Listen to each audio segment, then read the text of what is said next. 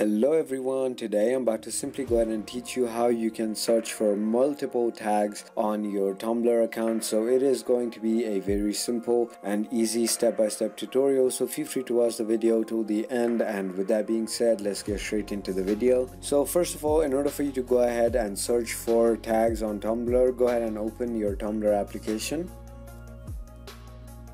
finally once you have done that i hope you have already logged in into your account. But if you don't know how to i've already made previous videos on how to log in into tumblr. So over here now you're gonna go ahead and tap on the magnifying icon on the bottom of your screen right over here. And once you go ahead and tap on that you're to be on this page right over here where you're to tap on search tumblr and once you do that in order for you to go ahead and search for tags you want to simply write a hashtag and then write anything that you are searching for. Let's just say I'm searching for funny.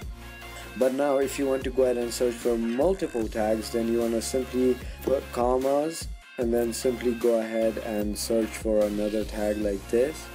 Um, let's just say cool and that's how you go ahead and search for multiple tags at once by simply writing a comma to separate them. So if you thought this video was informational feel free to hit that subscribe button hit that like button and comment down below what video you want me to make next. And with that being said thank you so much for watching